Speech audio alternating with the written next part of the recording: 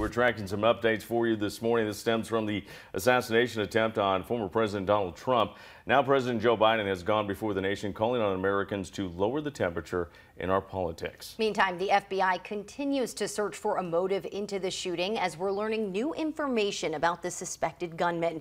ABC's Perry Russom joins us live with the latest developments from Milwaukee this morning, where the Republican National Convention starts today. Perry? Hey, good morning. The stage is set for a busy week here at the RNC in Milwaukee, with the speeches set to start in just a few hours from now. Trump talking to the New York Post yesterday saying he's supposed to be dead. Today, day one of the Republican National Convention in Milwaukee. The Trump campaign planning to highlight the former president's plan for the economy as the week has taken a dark turn.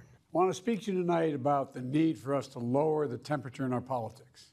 President Biden addressing the nation last night. You know, the political record in this country has gotten very heated. It's time to cool it down. We all have a responsibility to do that.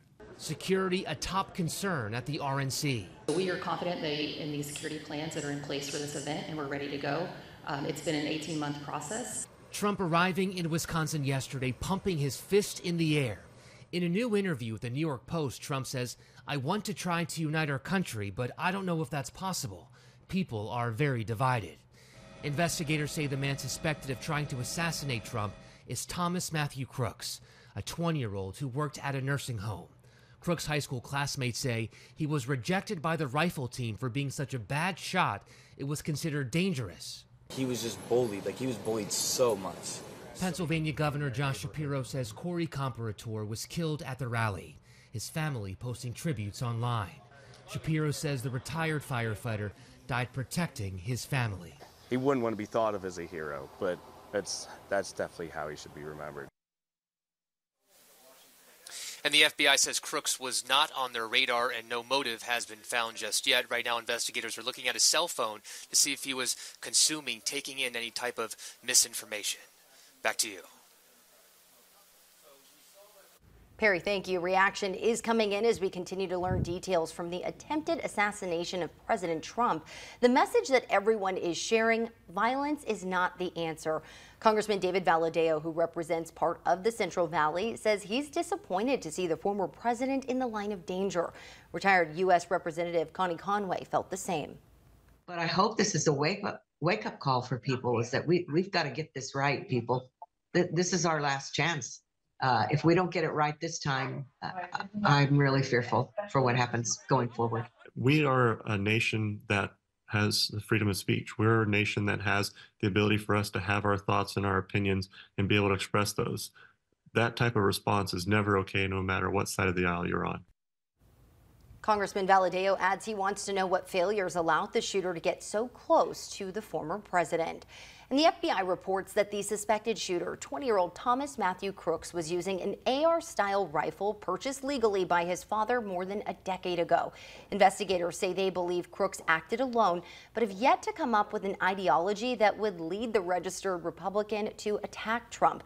The shooter had somehow taken up a position on the roof of a building just outside the security perimeter, but only about 400 feet from where Trump was speaking. A picture taken by New York Times photographer Doug Mills shows one of the bullets streaking past the president's head, grazing his right ear. Others weren't so lucky. Corey Comperatore, a local firefighter, was killed as he used his body to shield his family. Corey dove on his family to protect them last night at this rally. Corey was the very best of us. May his memory be a blessing. Two other men, ages 57 and 74, were initially listed in critical condition, but were last reported to be improving and expected to survive. And now, after all the weekend chaos that took place in Pennsylvania, Donald Trump waking up in Milwaukee. This is where the Republican National Convention will take place. Over 50,000 people, including 2,500 delegates, are expected to attend the big event. The delegates will choose their presidential and vice presidential nominee during the four-day event. Former President Donald Trump is the current presumptive nominee. He is expected to announce his much anticipated vice presidential pick at the convention. The 2024 Republican Party platform is also expected to be revealed. And a strong security presence has been set up in Milwaukee Milwaukee just ahead of the start of this year's convention. Photos shared with Action News show Secret Service snipers on rooftops. We got law enforcement officers standing by on horses and a long security line. Valley delegates to the RNC say they feel safe and secure despite Saturday's assassination attempt in Pennsylvania. Fresno County Republican Party Chair and Delegate Elizabeth Kolstad uh, believes this will impact the former president's campaign. Maybe we're on the fence, are so disgusted at the attempt on his life that it, it will help him. I, I mean, I've talked to a lot of people that have friends and family that maybe weren't voting for him before, but they are absolutely so disgusted at the length that people are, are going to not have him be elected that they're going to cross over. They're going to vote for him. Delegates also told Action News about the highly anticipated running mate announcement. That's expected soon by the former president. They do have some predictions and believe whoever it may be will also further advance Trump's campaign. And be sure to stay with Action News as we continue to follow updates to this breaking story of the president rally shooting.